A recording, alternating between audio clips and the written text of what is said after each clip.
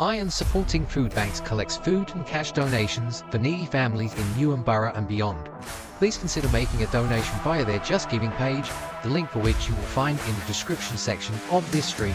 Come on, you Irons!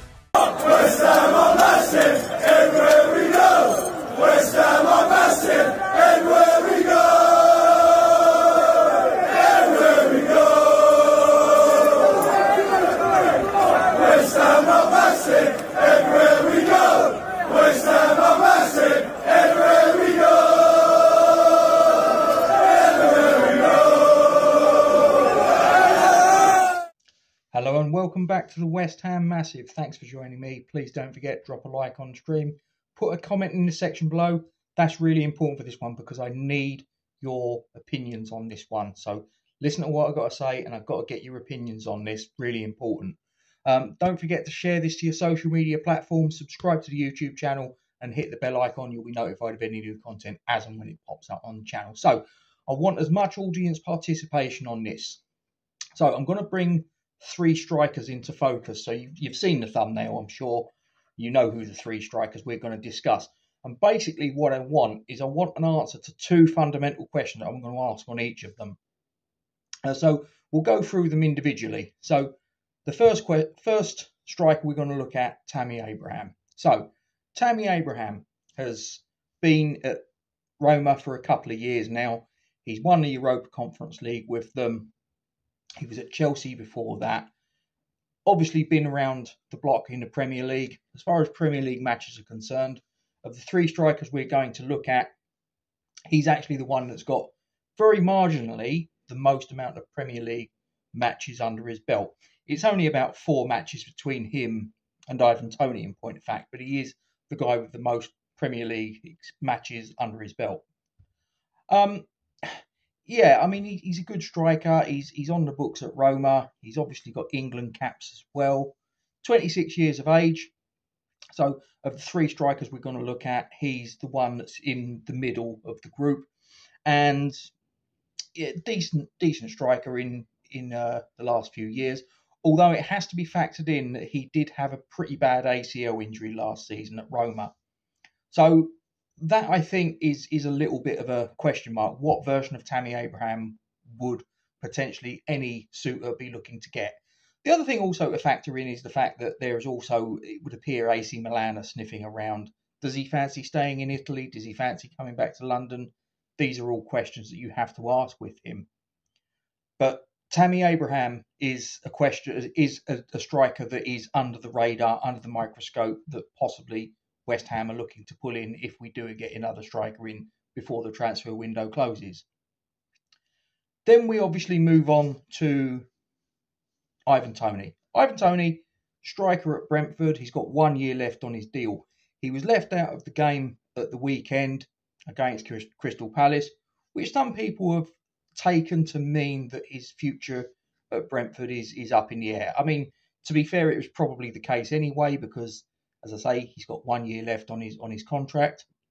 So he either signs an extended deal or release for free in the summer. And at that point, he can obviously negotiate a higher wage, a higher signing on fee, all those sorts of things.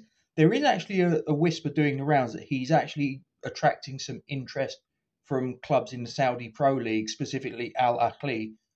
And he's apparently put Arsenal on notice, and the, the story goes that Arsenal have been sniffing around, and Arsenal have been quoted uh, his wage demands, which even they've balked at. And basically, what it means is that it would mean that he would become, if Arsenal were to give him what he wanted, he would become the third most paid player in terms of their weekly salary in the Premier League currently. Only two players would be ahead of him in the pecking order, both of them at Man City. One, Kevin De Bruyne, and the other Erling Haaland. So that even Arsenal have said that's a little bit rich for us, and it looks like they're starting to back away from from uh, having any interest in Ivan Toney.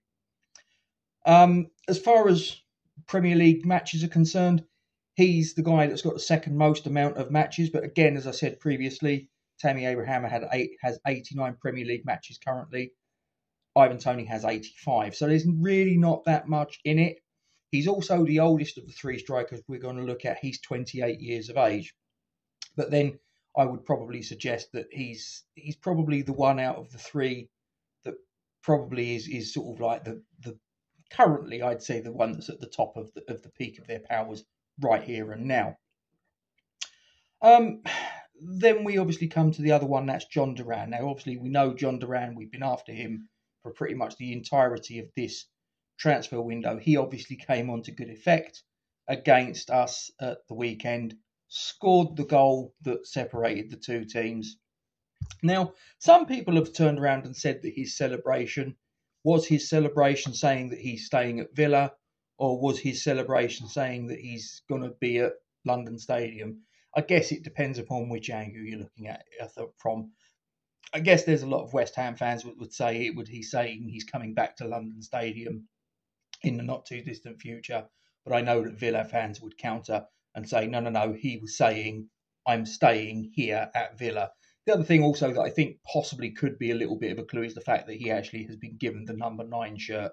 I'm a little bit old school and I think that the number nine shirt is a little bit of a, a symbolic sort of um, indicator as to sort of your standing at the club. Um, he's the youngest of the three. He's also the one of the three that has the least amount of matches in the Premier League. But he's he's a raw talent. He's someone that has got a, a lot of potential there. They're the three that that are under the microscope. They're the three that Tim Steidten is allegedly running through uh, the the rule over and, and seeing whether there's any scope to bring them to West Ham United.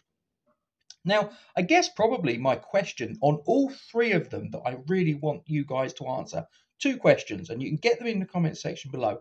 So, the first question is is that which one of those three would you, the viewer watching this, like to get in at West Ham the most? Would it be Tammy, Tammy Abraham?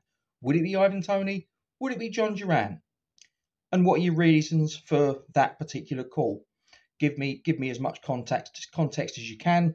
Don't spare the detail. Um, and then the other question is probably slightly slightly different. Taking that one to one side, which one of the three do you think realistically we're going to get out of the three? More likely, if if any of those three. Now, the answer to my question, the, both of those questions from my angle, which one would I like to get the most? The answer of which one I'd like to get the most would probably be it's a toss up between Ivan Toney and Jhon Durán. I'm probably going to slightly lean towards Jhon Durán from the point of view that he's the younger of the two. And as far as his weekly wage is concerned, he wouldn't be as expensive as Ivan Toney. As I said before, Ivan Toney has, has put up a demand that even Arsenal have said is too expensive for them, would make him the third highest paid player in the Premier League currently.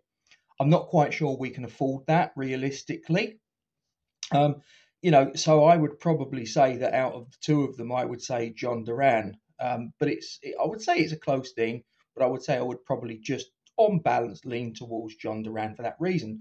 However, when I then answer the question of which one do I think is the most likely that we're going to get, the answer is Tammy Abraham because of the ACL injury. I think that because of the ACL injury, probably his inherent value, as far as the transfer fee is concerned, and all the other facets that a Premier League transfer entertains, probably means that he's the one that realistically we're the most likely to be able to afford, the, the most likely one that's able to sort of happen, if you will.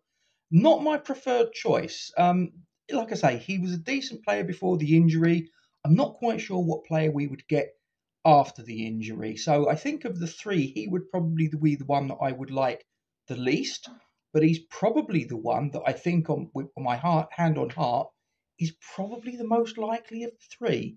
Um, but again, you guys might have a different point of view on that. I've given you the pros and the cons.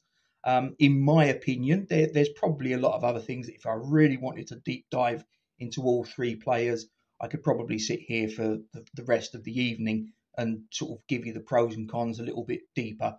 But you get the gist of what I'm saying. But as I say, there's two fundamental questions to these three players.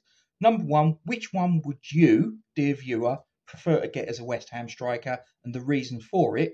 But then question two is which one do you think is the most likely And again, if you can give me the reasons for your answers, that would be fantastic. I'll try and respond to as many of you as I can. Um, you know, I've, I've, hopefully I've been trying to engage with as many of you as possible. There's a lot of comments that come in. I try and sort of answer each one individually as best as I can. But give us as much detail as you can. I, I really do appreciate your input. Um, and as always, guys, thanks for joining me here on the West Ham Massive. Please don't forget to drop a like on the stream. It really does help the channel out tremendously. As I say, make sure you put your comment in down below. Share this to your social media platforms, subscribe to the YouTube channel, and hit the bell icon. Let's grow this channel together. Come on this journey with me, and let's see how far we can take it, guys. Thanks for joining me. Come on, you irons. Irons Supporting Food Banks collects food and cash donations for needy families in Newham Borough and beyond. Please consider making a donation via their Just Giving page, the link for which you will find in the description section of this stream. Come on you Irons!